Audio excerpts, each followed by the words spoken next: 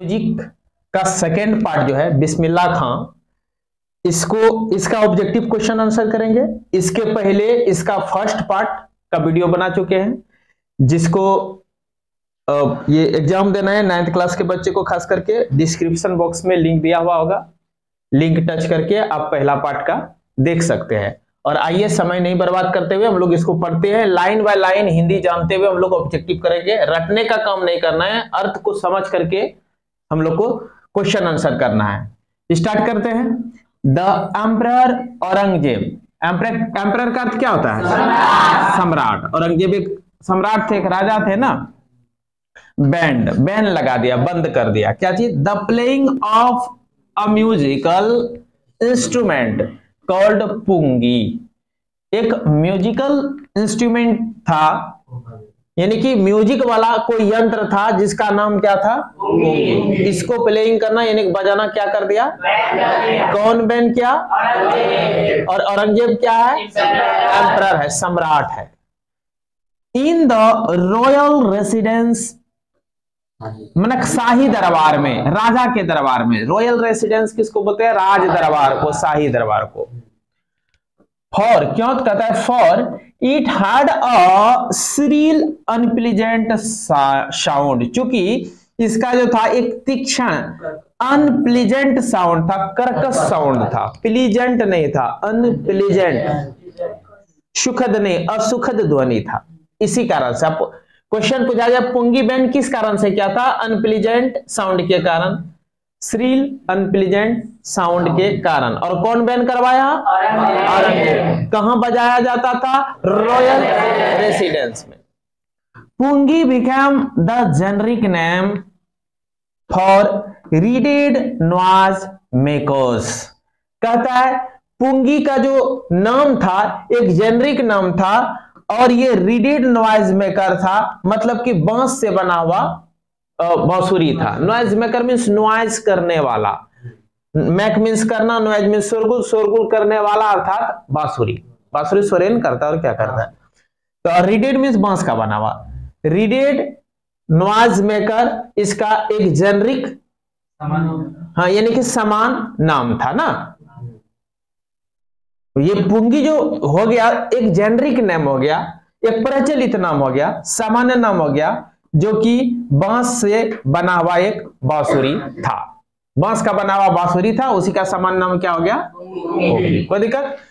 Few had thought कुछ लोगों ने सोचा। That it would one day be revived एक दिन या रिवाइव किया जाएगा पुनर्जीवित किया जाएगा। ना few had thought that it would it would one day be revived एक दिन इसको क्या किया जाएगा? रिवाइव पुनर्जीवित किया जाएगा। उसको बैन कर दिया ना? अब barber of a family of professional music musicians देखिए कहता है एक बार बार था एक ठाकुर था नाई था। Of a family of professional musician देखिए एक तो म्यूज़िक सीखना शौक से होता है। कोई म्यूज़िक इसलिए सीखता है कि म्यूज़िक के द्वारा ही हमको पैसा कमाना है भविष्य में। तब उसको कहते हैं प्रोफेशनल म्यूजिशियन और शौक से म्यूज़िक बजाने सीख लिए तो वो म्यूजिशियन कहलाएगा। लेकिन हम इसलिए म्यूज़िक सीखे कि हमको लाइफ में म्यूज़िक से ही पैसा कमाई करना है। और हमारा बाल बच्चा भी वही करेगा, उसका बाल बच्चा भी वही कर रहा है तो हम लोग प्रोफेशनल म्यूजिशियन फैमिली पूरा कहलाने लगेंगे ना? क्या कहलाएँगे? वो कहता है कि बार बार था of a family of professional musicians अब समझ गए, पूरा फैमिली का प्रोफेशन यानी धंधा जो था, रोज़गार जो था, वो क्या था? म्यूज़िक बजाना। इसलिए म्यूज़िक प्रोफेशनल म्यूजिशियंस कहा, उस फैमिली को। पूरा फैमिली का प्रोफेशन जो था प्रोफेशन में रोज काम, धंधा। पूरा फैमिली का जो धंधा था, वो म्यूज़िक म्यूज़िक बजाना था। इसलिए प्रोफेशनल म्यूजिशियन फैमिली का उसको। समझ में आया? उसी फैमिली का एक क्या था? बारबार था। मीन्स एक बाबर है मीन्स एक नाई है। Who had access to the royal palace? Access का अर्थ होता है अप्रोच हाँ पहुँच। एक्सेस का अर्थ क्या होता है? अप्रोच हु हैड एक्सेस जिसका अप्रोच था पहुँच था रॉयल पैलेस तक यानी शाही दरबार तक। रॉयल पैलेस तक शाही दरबार तक। उसका क्या था? एक्सेस मींस अप्रोच पहुँच कहते अरे उसका तो बड़े बड़े लोगों तक अप्रोच है उसका छोड़ो ना उसका आपके बराबरी कर पाएँगे। अप्रोच मींस पहुँच। वही एक्सेस हुआ। अप्रोच सिनोनिम हो गया ना? और यह किसको एक्सेस है? यानी किसको अप्रोच है रॉयल पैलेस का? उस बार बार बार बार को। डिसाइडेड और उस बार बार ने इसलिए डिसाइड कर दिया कि टू इंप्रूव सुधार कर देंगे। टोनल क्वालिटी आवाज़ का क्वालिटी ध्वनि का गुण। टोनल क्वालिटी में आवाज़ का गुण। हाँ टोनल क्वालिटी ये जो आवाज़ करकस हो रहा है थ्रिल अनप्लीजेंट साउंड हो रहा है उसको क्या करते हैं उस टोनल क्वालिटी को यानी कि उस आवाज़ का जो गुण है उसको क्या कर देंगे? बदल देंगे। टोनल क्वालिटी बदल देना मीन्स आवाज़ बदल देना। उस पुंगी का। He chose a pipe with a natural hollow hollow दो तरह का पाइप होता है। पाइप में यहाँ लकड़ी हो जाएगा। ठीक ना? बाँस का पाइप उन्होंने लिया। और उस, उस पाइप में क्या क्या? होल था। नेचुरल होल था। बाँस में नेचुरल होल रहता है। होल में छेद बाँस में छेद करना पड़ता है। Pipe a natural hollow stem. Stem ने डंटीट होता ना, ये पूरा को स्टेम कहते हैं। उसमें प्राकृतिक रूप से छेद वाला एक स्टेम लिया। That was longer and broader जो लंबा भी था और मोटा भी था। ब्रॉडर ना मोटा यहाँ कहेंगे। लॉन्गर मीन लंबा भी था और मोटा भी था। देन द पुंगी पुंगी की तुलना। में पुंगी की तुलना में ज़्यादा मोटा था और ज़्यादा लंबा भी था। एंड मड सेवन होल्स सात तो होल कर दिया इसमें, छेद कर दिया इसमें। बांसुरी देखेंगे? बांसुरी बांसुरी क्या चीज़ का है? वो भी तो इसी का है ना बाँस का है ना? बाँस का है उसमें नेचुरल होलो रहता है उसमें ही होल बना रहा है इधर से वर्टिकली ना? कहता एंड सेवन होल्स पुंगी में क्या कर दिया उन्होंने? मेड सेवन होल्स सात होल किया on the body of the pipe pipe के बॉडी पर। बॉडी पर सेवन होल किया। सेवन तो छेद क्या। होल मीन्स छेद। When he played on it जब इसको उन्होंने बजाया, बांसुरी बजाना प्ले करना मीन्स बांसुरी बजाना। ढोल प्ले करना मीन्स ढोल बजाना। Closing and opening some of these holes in holes में क्या क्या किसी को क्लोजिंग क्या किसी को ओपनिंग किसी को क्लोजिंग क्या किसी को ओपनिंग और ऐसे कर करके बजाया। क्लोजिंग एंड ओपनिंग क्लोजिंग समझ रहे हैं? हाँ। बंद करके खोल के बंद करके खोल के। तो बजाता है बॉसेज क्या करता है? सब एक बार बंद कर देता है? नहीं सब एक बार खोल देता है? नहीं एक बंद ओपनिंग क्लोजिंग ओपनिंग क्लोजिंग ऐसे ना करता? है हाँ। तो इस तरह ओपनिंग क्लोजिंग करके क्या क्या उसको बजाया? Soft and melodious sound were produced पूरा सॉफ्ट और मेलोडियस साउंड्स हाँ मधुर आवाज़ प्रोड्यूस्ड उत्पन्न हुआ उससे। बस पैसेज खत्म अब ऑब्जेक्टिव पर आते हैं। Who improve the sound of sound quality of the pungi pungi का साउंड क्वालिटी यानी टोनल क्वालिटी किसने बदला था? बार बार ने बदला था ना? बदला था।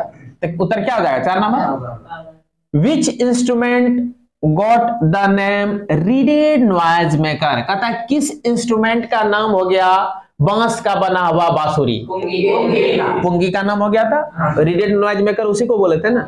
बाँस का बना हुआ ये बांसुरी। How many holes were made on the body of the pipe seven hole क्या गया था? चार नंबर हो गया। What does access to mean? कहता है एक्सेस का अर्थ क्या होता है? हाँ पहुँच होता है ना? कहता what does access to mean? Access का अर्थ क्या होता है? Inaccessible accessible out of reach पहुँच से बाहर. नन ऑफ़ दीज इनमें से एक्सेसिबल मीन्स एक्सेस ही होता है ठीक है एक्सेस का अर्थ एक्सेसिबल ही होगा। एक्सेसिबल मीन्स भी अप्रोच होता है। कोई दिक्कत? आगे बढ़े। तो उत्तर क्या हो जाएगा? एक्सेसिबल एक्सेस का क्या हो जाएगा? एक्सेसिबल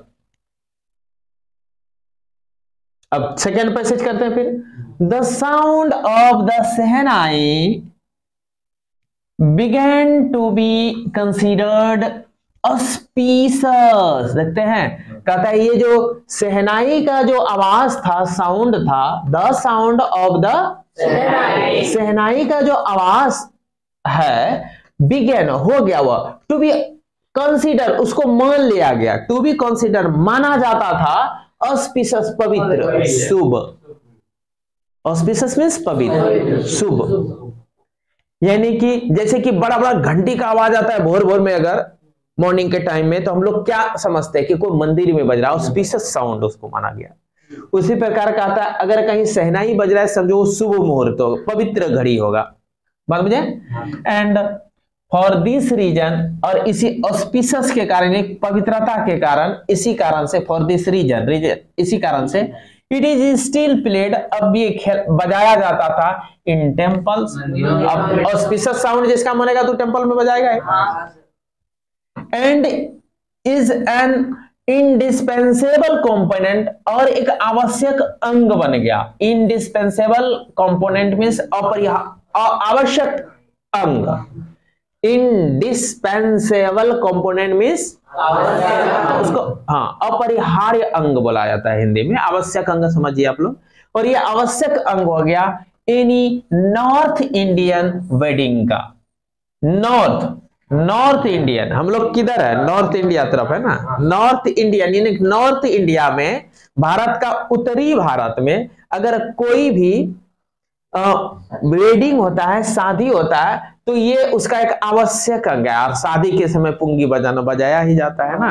अब तो कम हुआ डीजे के जमाने में लेकिन पहले तक शादी में बाजा आएगा बैंड पार्टी आएगा बड़ा बड़ा बांसुरी लेकर के ना? पुंगी वगैरह लेकर के और बजाता था शादी में। पूरा उसका आवाज़ ही अलग होता था, सूर ही अलग होता था। उसमें एक तो नचनिया आती थी। लड़का ही कपड़ा पहन लेती थी लड़की का और वो नचती थी। वो सब दृश्य आप लोग पता नहीं देखे देखे ठीक है? अब तो डीजे आता है, सब बैंड पार्टी खत्म। नहीं तो पहले पूरा बजाया जाता था। क्या हम लोग। मस्ती लगता था उस समय भी। डीजे से ज़्यादा मज़ा आता था। लड़का रहता था आदमी दौड़ के जाता था सब देखने की लड़की वहाँ नचा रहा है बचपन में। सब जन रहे लड़की नच नाच रही है। लेकिन रहता था लड़का ही लड़की का ड्रेस पहन करके रहता था। आगे बढ़े। तो इसीलिए बोला उत्तर भारत में इंडिस्पेंसेबल कंपोनेंट बन गया माना आवश्यक अंग बन गया। कहा? नॉर्थ इंडिया में। किस किस घड़ी में? वेडिंग के समय। तो कहता है नॉर्थ इंडिया के वेडिंग का एक इंडिस्पेंसेबल कंपोनेंट बन गया। कोई इन द पास्ट और बाद में shehnai was part of the naubat और traditional ensembled of nine instruments found at royal coach. अब देखिए क्या करा है? इन द पास्ट मतलब बाद में. Shehnai was part of the naubat. ये नौबत का एक अंग बन गया। नौबत समझते हैं? नौ बजाओ के समूह को नौबत बोलते हैं बिल्कुल सही बात है बजती है पाँच नौबते वहाँ पाँच बजा का समूह हुआ सुनिए एक एक को सेहनाई वाच फाट ऑफ़ नौबत अब ये नौबत कहता है नौ तरह का बजा का क्या बन गया एक पार्ट बन गया और नौ तरह का बजा कहाँ होता था ट्रेडिशनल कहता है और traditional ensemble of nine instruments नौ तरह के और नौ तरह के बाजाओं का जो समूह हुआ करता था, उसका एक पार्ट बन गया। उसको नौबत कहो या नौ तरह के बाजाओं का समूह कहो। पहले समझिए यहाँ जरा सा। जरा सा मैं इसको फिर से बता देना चाहता हूँ। कहता है इन द पास्ट बाद में। Shehnai was part of the naubat. किसका पार्ट हो गया? या कहता है इस नौबत को उड़ा दो। और यहाँ से पढ़ो। Shehnai was the part shehnai was the part of traditional ensemble of nine instruments नौ यंत्रों का समूह। एंसेबल मीन्स नौ यंत्रों का समूह। पारंपरिक समय में जो बजाया जाता था, पुराना समय में जो बजाया था, उसका ये एक पाठ हुआ करता था। वो जो बजा बुलाता था शादी में, वो नौ प्रकार का बजा रखता था। रियल में नौ तरह का रखता था, ठीक है? तो किसी का पूरा अजीब अजीब तरह का स्ट्रक्चर लगता था देखने में, ऐसे रहता था, ऐसे करके ऐसे, इस तरह का रहता था, ठीक ना? हाँ और इसमें होल क्या हुआ रहता था? एक तो ऐसे रहता था बड़ा जैसा एक तो रहता था। और हाँ ऐसे आके ऐसे ही घुमा रहता था, इसमें कई पाख रहता था ऐसे। याद आया? इस प्रकार नाइन इंस्ट्रूमेंट्स रहता था, उसी का एक पार्ट इसको माना। इसको नाइन बोला एनसेम्बल ऑफ़ नाइन इंस्ट्रूमेंट हाँ नौ वाद्य यंत्रों का समूह। ये ट्रेडिशनल था, पुराने जमाने में थे। जिसको हम क्या कहते हैं? तो नौबत उसको क्या कहते हैं? आगे बढ़ा दें। और ये कहाँ बजाया जाता था? फाउंड एट रॉयल कोर्ट यानी शाही दरबार में। राजा महाराजा के दरबार को बोलते हैं रॉयल कोर्ट राजा का दरबार। कोई दिक्कत? Till recently it was use only in temple कहता है हाल ही में हाल में टिल रिसेंटली हाल ही से it was use only in temple अब इसका उपयोग किया जाता है कहा? मंदिर। हाँ। Till recently it was use only in temple इसको यूज़ किया जाता था सिर्फ़ मंदिर में एंड वेडिंग और शादी में। The credit for bringing this instrument on to the classical stage goes to Ustad Bismillah Khan credit में श्रेय होता है। कहता है अरे उसको इस काम का तो श्रेय फलना हो जाता है। यानी फलना ज़्यादा संघर्ष किए थे इसमें ना? तो कहता है the credit of bringing this instrument मतलब पुंगी। इस इंस्ट्रूमेंट को यहाँ दिस क्या है? पुंगी है। इस यंत्र को लाने का श्रेय। कहाँ लाने का? एक क्लासिक क्लासिकल स्टेज तक, शास्त्रीय संगीत तक, शास्त्रीय अब, संगीत का एक हायर पोजीशन है क्लासिकल स्टेज बात बुझे समझ लीजिए हायर क्वालिटी हायर पोजीशन तक पहुंचाना हुआ क्लासिकल स्टेज बाकी वो म्यूजिशियन डिपार्टमेंट का टर्मिनोलॉजी है, आप समझेंगे समय के साथ। अभी खाली जान लीजिए वो हायर पोजीशन हुआ किसी भी इंस्ट्रूमेंट को क्लासिकल तक पहुंचाना मतलब वो हाइयर पोजीशन तक पहुँचा देना। कोई दिक्कत? The credit for bringing this instrument on to the classical stage classical stage तक लाने का जो क्रेडिट है, श्रेय है गोज टू उस्ताद बिस्मिल्ला खान। उस्ताद बिस्मिल्ला खान को ये श्रेय जाता है। अब क्वेश्चन पूछेगा कि क्लासिकल स्टेज तक लाने का पुंगी को श्रेय क्रेडिट किसको जाता है सब ऑब्जेक्टिव है, मज़ा लगेगा। द क्रेडिट क्वेश्चन शुरू उसी से हो गया, देखिए। The credit of popularising shehnai goes to सहनाई को पूरा पॉपुलर करने का क्रेडिट किसको गया?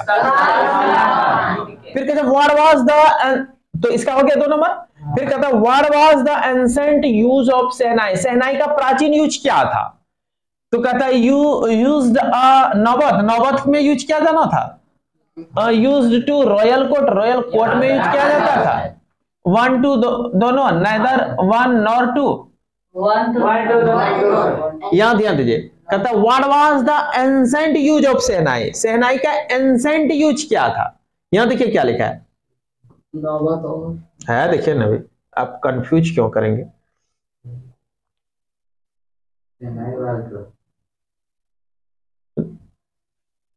आप लिखा है इन द पास्ट यानी कि एंसेंट टाइम में shehnai was part of the naubat. नौबत का एक पार्ट हुआ करता था। और क्या हुआ करता था? Traditional ensemble of nine instrument found at royal court है ना? रॉयल कोर्ट में जो नौ बाजाओं का समूह था, उसका एक अंग हुआ करता था। रॉयल कोर्ट में, यानी शाही दरबार में। और वही क्वेश्चन है what was the ancient use यानी प्राचीन समय का क्या यूज़ था सहनाई का? तो यूज़ दे नौबत नौबत का एक अंग बनाया जाता था। नौ बजाओं का समूह का एक अंग ये था। ये भी सही है। Use to royal court royal court में यूज़ क्या था? बिल्कुल सही है। तो उत्तर क्या हो जाएगा? कारण समझ में आया ना? अब आगे। What is considered auspicious in past past समय में कहता है किसको ऑस्पिसस मनाया जाता? है हाँ। Trumpets drums shehnai all of these shehnai what does the word indispensable means कहता है इनडिस्पेंसेबल का अर्थ क्या है? इंडिस्पेंसेबल का अर्थ क्या है? इनसेपरेबल देखो इनडिस्पेंसेबल का अर्थ हुआ अपरिहार यहाँ था इंडिस्पेंसेबल पार्ट में बोला आवश्यक अंग। एक ऐसा अंग जिसको हम हटा ना सके सेपरेट ना कर सके उसको बोलेंगे इंडिस्पेंसेबल पार्ट समझ रहे हैं? इंडिस्पेंसेबल का अर्थ क्या हो जाता है? आवश्यक। ऐसा पार्ट जिसको हम अलग नहीं कर सकते उसको क्या बोलते हैं? इंडिस्पेंसेबल अब इसका सिनोनिम पूछ रहा है। कितना मस्त क्वेश्चन है कि what was the word indispensable means यानी कि इसका अर्थ क्या है? इनसेपरेबल जिसको सेपरेट नहीं किया जा सकता है ना हो गया? हाँ। इरिपेरेबल जिसको रिपेयर नहीं किया जा सकता है। डिस्पेंसेबल जिसको अलग किया जा सकता है। नन ऑफ़ इसमें से कोई नहीं तो क्या हो जाएगा? इनसेपरेबल इंडिस्पेंसेबल का तो एंटोनिम हो जाएगा डिस्पेंसेबल ना होगा? हाँ आवश्यक हो गया अनावश्यक हो गया। लेकिन आवश्यक का हो गया वो चीज़ जिसको हम अलग नहीं कर सकते इनसेपरेबल क्या हो जाएगा? आगे बढ़ो। At the age of forty चौदह साल की उम्र में Bismillah accompanied his uncle to the Allahabad music conference accompany mean साथ हो जाना। बिस्मिल्ला साथ हो चला। अपने अंकल का। किसका साथ हो गया? और कहा गया? टू इलाहाबाद म्यूज़िक कॉन्फ्रेंस कहा चला गया अंकल के साथ? At the end of his his recital Ustad Faiyaz patted the young boy's back. Recital means क्या होता है? At the end of his recital recital किसको बोलते हैं? रिसाइटल बोलते हैं समारोह को। किसको बोलते हैं? ये ठो दो काम लिखा गया नहीं होगा। रिसाइटल मीन्स समारोह। ठीक है क्या कह रहा है? समारोह के अंत में उस्ताद फैयाज कौन? Patted the young boy's back उस छोटा सा बच्चा का पीठ को क्या किया?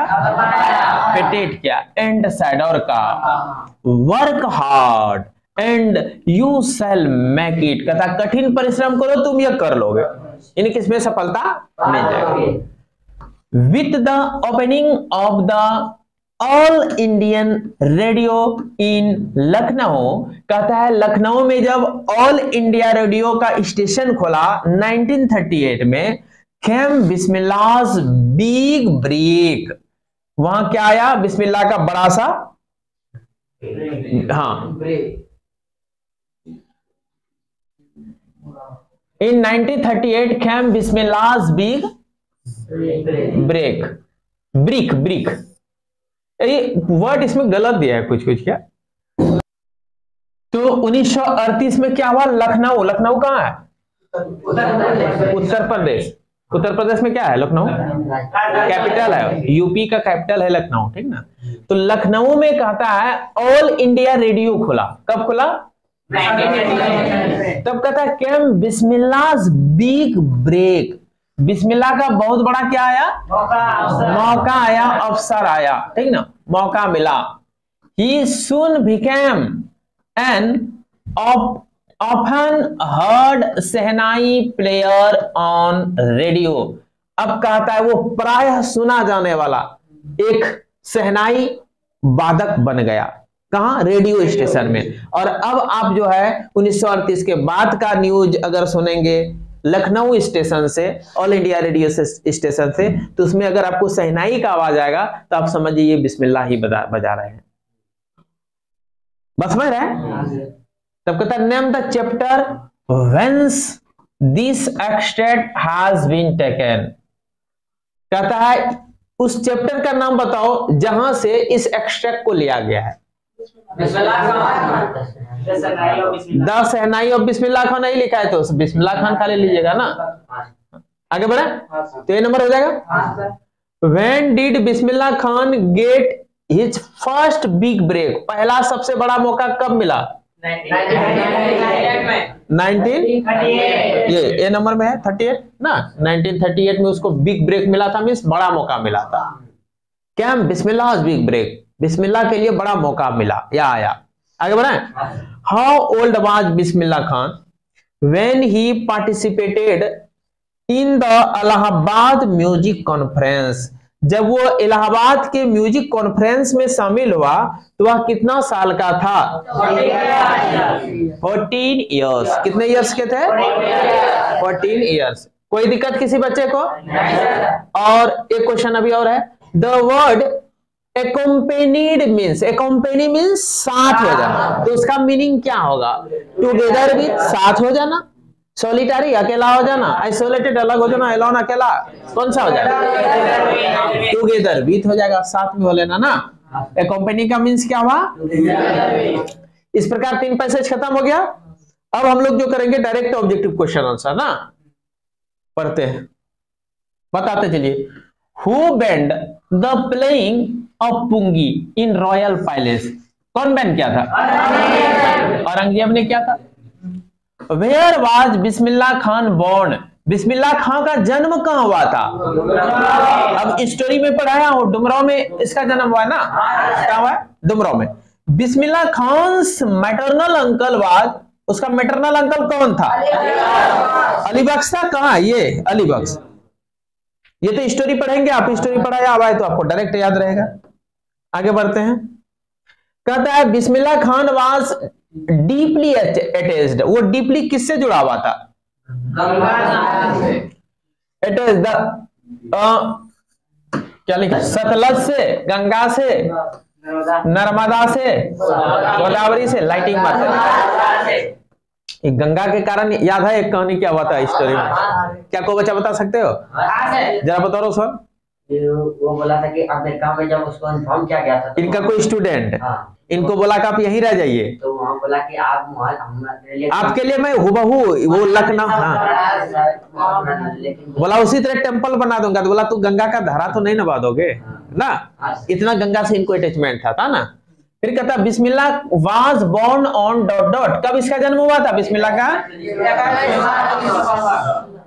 ट्वेंटी फ़र्स्ट मार्च 1916 ठीक ना?